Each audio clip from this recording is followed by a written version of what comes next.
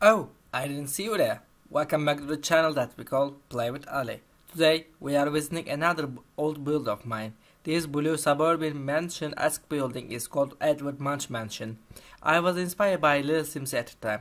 This is one of my earliest builds so the detailing is on and off yet I have created a shell unit for the kitchen area. This home doesn't have many rooms for me to put the kitchen in, so I turned the entry into kitchen with the formal dining area.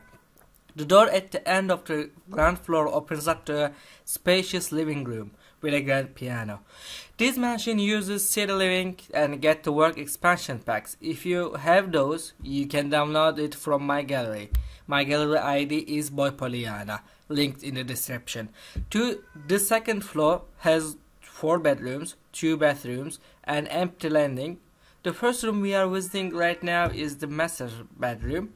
The master bedroom has its own shrine area that the owners of the house pray. I used to I used the base game lady bust to make the shrine look more realistic. The painting we see on the walls are base game as well.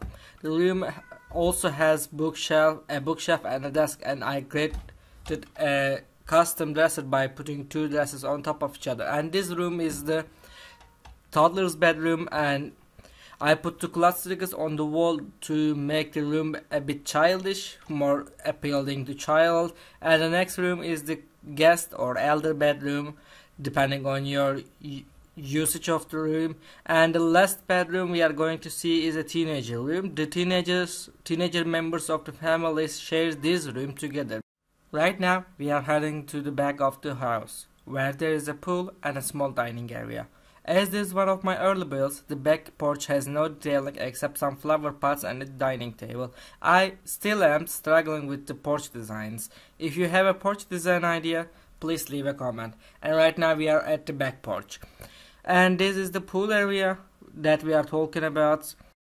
This pool has no ladder but it is still interactable thanks to the sims 4 mechanism for the pool. And this is the dining table and the pots i was talking about. That's all for today. If you enjoyed the video please consider giving a thumbs up leaving a comment and subscribing. Peace out